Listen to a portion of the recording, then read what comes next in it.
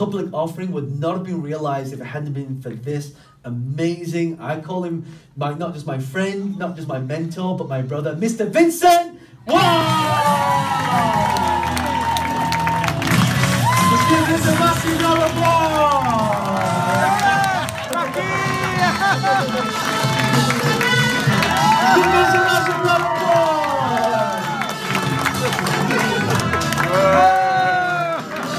Job, good job. All right. So there's one more thing that we do here. Uh, uh, hang on, before then, I want to acknowledge this man.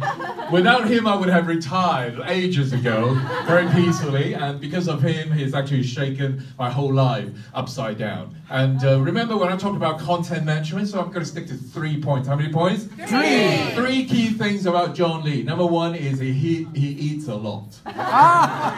Number two, he sleeps only when he's tired, so he can oh.